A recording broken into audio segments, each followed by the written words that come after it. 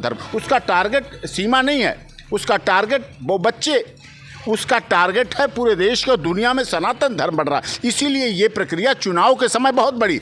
पशुपतिनाथ मंदिर में मुस्लिम इस्लाम धर्म को मानने वाला अलाउ ही नहीं है एंट्री नहीं है। वहाँ छुपा के ज़रूर गए हूँ। इस पर भी कार्रवाई मैं करूँगा। तो नमाज़ का क्या मसला है? नमाज़ पढ़ती थी क्योंकि आप ए पी सिंह भी बोले कि वो सनातन धर्म अपना लिया था लेकिन वो ये बात सामने आ रही है कि वो नमाज़ पढ़ती थी। क्लाइंट से जुटाते हैं क्लाइंट नहीं है। गुलाम हैदर नहीं है कौन फंडिंग कर रहा है? वो पाकिस्तान के पैसे आ रहे हैं। पाकिस्तान हमारा दुश्मन देश है वो पाकिस्तान के पैसे आ रहे हैं और उन्हीं पैसों का लेन देन इसीलिए भारत में नहीं काठमांडू में हो रहा है। हमारे साथ भारत के जाने माने advocate doctor A P Singh और सचिन मीना मौजूद हैं।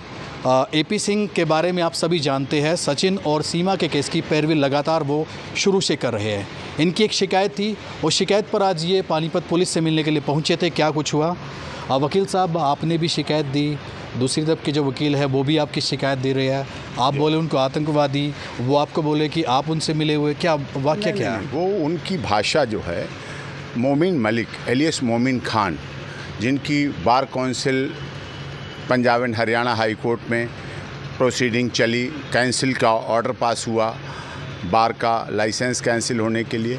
और इस पर माननीय सर्वोच्च न्यायालय की सुप्रीम कोर्ट बार एसोसिएशन ने, पूरी कमेटी ने यहाँ कंप्लेंट भेजी। सोनीपत एसपी को और पानीपत एसपी साहब को भी bar council chairman, Punjab and Haryana, high court Chandigarh को उनको भी भेजी, क्योंकि लगातार कुछ महीने से ये व्यक्ति सीमा पर, मेरे पर, सचिन पर, धार्मिक रूप से असंसदीय, अमर्यादित, अपमानजनक गैर कानूनी अश्लील भाषा का प्रयोग करके विभिन्न तरह से आरोप प्रत्यारोप लगा रहे हैं, आरोप लगा रहे हैं, जिससे हमारे सनातन धर्म को बदनाम किया जा रहा है। सनातन धर्म के ऊपर आरोप लगा रहे हैं। जो सीमा, सचिन, मीना लगातार अपने परिवार, जब पाकिस्तान में थी, तभी वो सनातन धर्म ग्रहण कर चुकी थी। उसके बाद भारत आई, भारत में नेपाल आई, नेपाल के रास्ते भारत आई। उसका लीगल प्रोसेस ए टी जाँच कर रही है, उच्च एजेंसियाँ जाँच कर रही हैं, कर रही हैं, उसमें कोई हमें आपत्ति नहीं। लेकिन उसके बाद ये व्यक्ति लगातार यहाँ गुलाम हैदर के नाम से गुलाम हैदर के नाम से लगातार इस तरह की प्रोसीडिंग कर रहे हैं, जबकि तिरासी सी पी सी साफ़ तौर पर कहती है कि पाकिस्तान हमारा दुश्मन देश है एलियंस है, वहाँ की कोई व्यक्ति प्रोसीडिंग यहाँ नहीं कर सकता है, कानूनी कार्रवाई नहीं कर सकता है। उसका अपना स्वयं पार्टी बनकर मुझे सचिन मीना सीमा को लगातार अपमानित नादर कर रहा है। छब्बीस वर्षों से मानी सर्वोच्च न्यायालय में वकालत कर रहा हूँ। परिवार के अन्य सदस्य भी मानी सर्वोच्च न्यायालय में लगातार लाइफ टाइम मेंबर हैं बार के। तो सुप्रीम कोर्ट बार ने देखा कि इस तरह से ऐसे ऐसे करके ये कर रहा है अपमानित तो उस पर यहाँ एसपी पानीपत को भेजी थी और सोनीपत को भेजी है, और Punjab and Haryana high court को कंप्लेंट भेजी है कि उस पर शीघ्र से यही हमने स्टेटमेंट दिया है।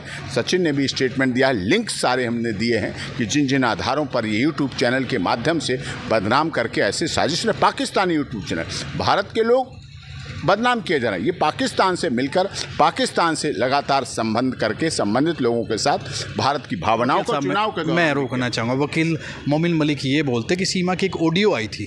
वो उनको जास जासूस वो बोले लगातार बोले कि एक ऑडियो मेरे पास आई है और ये कैंप में जाती थी वहाँ पर फौजियों के कैंप में। ऑडियो क्या मानते उसको लेकर? आर्टिफिशियल एक बार और पहले याद होगा ये चलाई थी इन्होंने कि सीमा को पीटा गया मारा गया यहाँ चोट वहाँ चोट वहाँ चोट चलाई गई थी। मारपीट भी चलाई सचिन के द्वारा। वो ये चलाते हैं सीमा मार दी गई सचिन मार दिया गया सीमा के ससुर को मार दिया गया थंबनेल गलत गलत कंटेंट्स डालकर चलाते हैं। सीमा वहाँ क्या करती है? जाँच का विषय है। ये तो एटीएस जाँच कर रही है। क्या है, क्या नहीं है? इस तरह से झूठी झूठी आर्टिफिशियल इंटेलिजेंसी का प्रयोग करके ये व्यक्ति लगातार भारत के सनातन धर्म, उसका टारगेट सीमा नहीं है। उसका टारगेट वो बच्चे उसका टारगेट है पूरे देश के दुनिया में सनातन धर्म बढ़ रहा है। इसीलिए ये प्रक्रिया चुनाव के समय बहुत बड़ी। जब लोकसभा के चुनाव चल रहे थे तो इस प्रक्रिया को इतना तेज़ी से चलाया गया जिससे कि मोदी जी की सरकार मोदी वो सीमा कहती है कि मोदी जी की सरकार बननी चाहिए खुश होनी चाहिए उसका अपमानित करने ये बदला लेने की भावना से करें सरकार के लेकिन वो वकील तो बोलते कि मैं इंसानियत के नाते कर रहा हूँ मोमिन मलिक बोलते गुलाम हैदर के बच्चे चाहिए बच्चे पिता के। व्यक्ति बच्चों के वेस्ट कस्टोडियन मदर होती है। मदर वेस्ट का जब चार साल पहले तलाक हो चुका वो तलाक सीमा के फादर के समय पा, पा, पापा के समय अब्बा जान के समय सामने हुआ तलाक और उसके बाद से वो अपने फादर के यहाँ रह रही थी। उसके बाद जब फादर के इंतकाल हो गया तब वो यहाँ सचिन के पास आई है। इसने दरिया दिली दिखाई कि उसके बच्चों को भी स्वीकार किया। आज उसके बच्चे पढ़ रहे हैं लिख रहे हैं बड़े हो रहे हैं इस बात से उन्हें एक सवाल और वकील साहब। गुलाम हैदर के वकील बोलते हैं जैसे कि अभी आपने बोला कि वो पाकिस्तान में थी तब वो सनातन धर्म अपना चुकी थी। लेकिन अभी वो नेपाल में है, गुलाम हैदर के वकील। वहाँ के होटल मालिक से बातचीत की। होटल मालिक वीडियो में ये बोलते नज़र आए कि सीमा होटल में नमाज़ पढ़ती थी। इसके बारे में सच्चाई है तो सचिन जानते हैं आप। सचिन से भी सवाल लेंगे। सीमा के इंस्टाग्राम, जब वो सीमा पाकिस्तान में थी, नेपाल छोड़िए, पाकिस्तान में होली मना रही। क्या कोई महिला होली मनाने वाली नमाज़ पढ़ सकती है वो काफिर हो जाती वहाँ उनके लिए। मार दी जाएगी काट दी जाएगी ख़त्म कर दी जाती है। वो काफिर हो जाती है।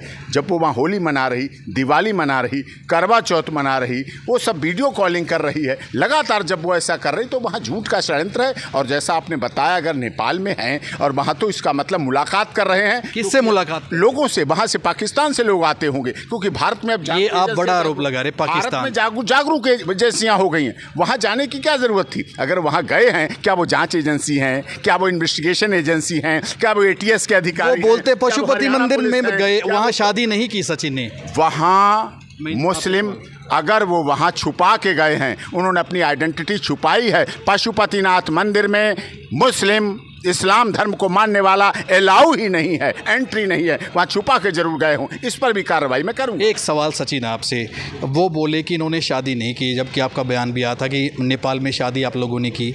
आ, और सात आठ दिन आप लोग जहाँ जिस होटल में रुके थे होटल के मालिक का भी बयान सामने आया। कितनी सच्चाई है? वो कह रहे कि होटल से शराब की बोतलें मिली जो गुलाम हैदर के वकील थे। तो सच्चाई कितनी है इसमें? पहली बात तो सर वो क्या कहते हैं ये बोल रहा है कि गोश्त खाती थी सीमा। हाँ, नॉन-वेज। गोश्त खाता था या सीमा गोश्त खाती थी। पहली बात ये बता दूँ जो मुस्लिम धर्म में जो गोश्त खाता है वो नमाज़ नहीं पढ़ सकता। और जो नमाज़ पढ़ सकता है और वो गोश्त नहीं खा सकता साथ के साथ ही एक दिन। और पहली बात ये बिल्कुल उन्हें धमका रहा है या कुछ भी कर रहा है। और हाँ जो शराब पिएगा वो नमाज़ पढ़ेगा ही नहीं।